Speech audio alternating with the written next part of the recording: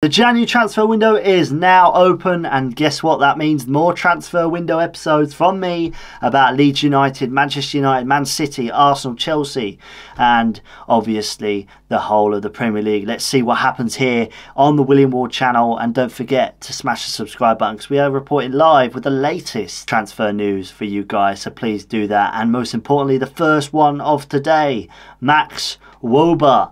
He's a German left back, I believe and now he makes his way to Elland Road because we have got some news about him that 12 million pounds is on the table for him from Leeds United. That is his fee.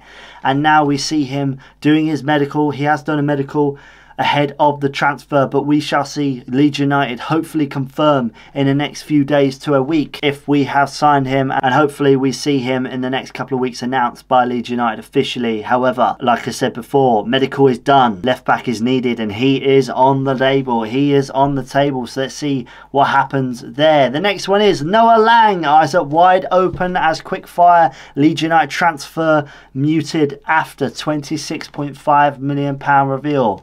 Leeds United could move quickly to seal a deal for, for Club Bruges winger Noah Lang, according to the former Bleacher Report journalist Dean Jones. Now, in the summer transfer window, we was discussing about Noah Lang. However, there were some issues about his attitude and the way he treats others in on the pitch. So, do you want to see him at Leeds United? I don't know because of obviously the attitude problem, but could he be a vital part just like Tyler Adams, the aggressiveness into the ball, and most importantly, attacking. That's what we need an attacker. Yes, a winger is, you know, going into the left or right side, going in through the middle, passing it to a striker, score. That's what we need. And now we see that. According to The Guardian, Fabrizio Morano also suggested that Lang could leave the club in January transfer window with £26.5 million likely to be the asking price. Now, do you think he's worth £26.5 million? I'm not sure. I'd probably say £17 million at best. Jones has since revealed 23 year old Dutch international is open to the future to the move to the Premier League. If they started to think that things were leaning that way, I think they would probably try to accelerate things their side, he told Give Me Sport, which was two days ago. At the moment, we don't really know what's going to open up. We know that Noah Lang has ambitions to play in the Premier League.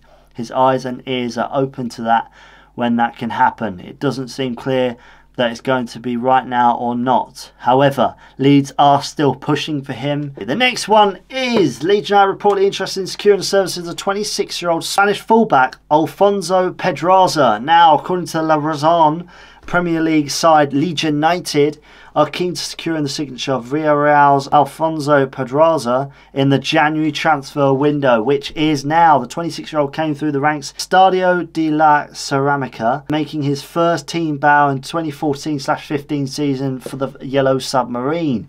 He has also since made 147 appearances, which is quite good, for the Spanish club across all competitions scoring 11 goals and assisting 18 more. Now, would you want to see his 26 year old Spanish fullback Alfonso coming to Elland Road, coming to Leeds United to help us out, and especially, especially getting him over the line, back bolster that back line. Obviously, Max Wöber, I did say, is coming fingers crossed he'll be over the line. Yes, he did his medical, but in terms of this player here, 26 is not too young, not too old, but the experience is needed at Leeds United.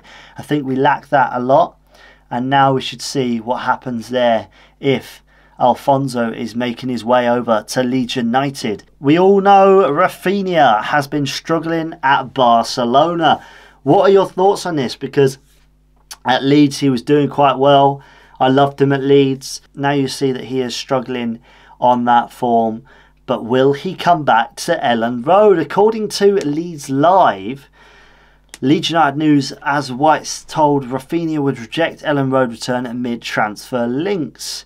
Leeds United told Raphinha would turn down Elland Road return. Former Premier League Alan Hutton believes Raphinha would rule out the return Elland Road as transfer speculation surrounding his future begins to mount. The Brazilian international secured his dream move to Barcelona in the summer but has struggled to adapt to life in Spain.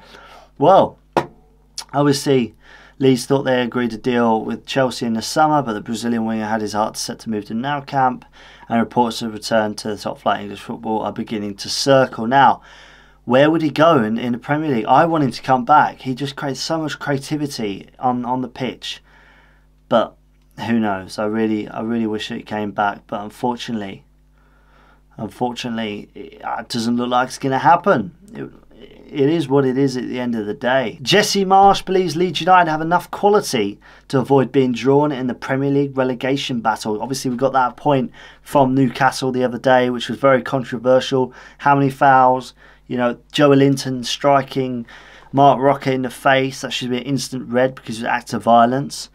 And the amount of fouls that they committed on us, absolute joke on that form. But Jesse Marsch thinks that we are safe from the pre- from the relegation zone, but we shall see in the next four or five games if we win them. We need to beat West Ham, but next we need to make sure we get new players over the line. Now the next one is Kai Wagner. These names keep coming up. Kai Wagner, Noah Lang, the lot. We need to make sure that we are signing these players now in the summer transfer window that we missed out on Kai Wagner. Obviously, he's a left back. Leeds United reportedly interested in signing Philadelphia Union defender Kai Wagner. Leeds United said to be keen in landing the Philadelphia Union fullback Kai Wagner in January transfer window, which is now. The Whites have just seen just one senior left back in their squad in Junior Firpo, who has rarely featured this season due to his injury. Now, I feel sorry for Junior Firpo, but when he comes back, he's just not as good. He's not the quality that we need. He just misses all the time. The chances, the, the tackles everything. I just feel sorry for him. He's a good player, but he's not Premier League worthy. I don't think. I don't think he's up for the task because the, a defender's supposed to defend, and, and same with Llorente. I think Llorente, Firpo should go. Them two should go, and I feel like Koch could be a backup potentially for the new signing, but keep Struijk. Struijk has done a good job, I believe, and definitely worth that renewal of his contract. So do you want to see Kai Wagner head over to Leeds United this month? Let me know down in the comments down below. The next one is, of course, Che Adams. We were in the links with him in in the summer transfer window, but now we see links again. Leeds United are believed to be interested in Southampton striker Che Adams, and they have now been told that he would seriously consider a move to Elland Road. Well, well, well, this is very interesting indeed. As per the athletic journalist Phil Hay recently detailed a move that Adams should not be discounted in January, as he is someone who was discussed for a transfer switch by Leeds Chiefs before.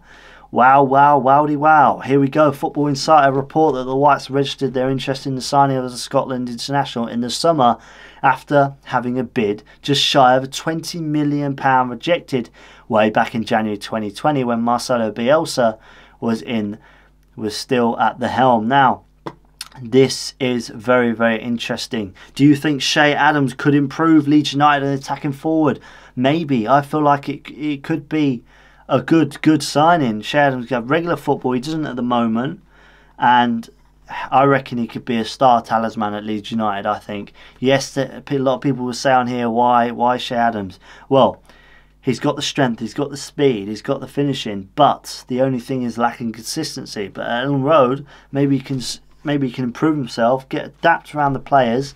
Jesse Marsch's formations, or the diamond formation as Jesse Marsch calls it, and improve the squad, score goals for us. Because I reckon 20 million pound back then now i reckon 13 12 million here now at this point in time i think he's worth that but we shall see. Will he switch over to Leeds United it, this month? I'm excited. I'm really excited for that. And, and that is it. All the latest Leeds United news here today.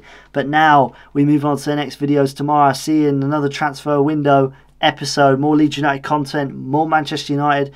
Arsenal, Chelsea, the lot. We're talking about many football clubs, but obviously Leeds United is a focus. You might start to see more Leeds United content but stick with me, slash, smash the subscribe button, and I'll see you guys in another transfer episode tomorrow. See you later.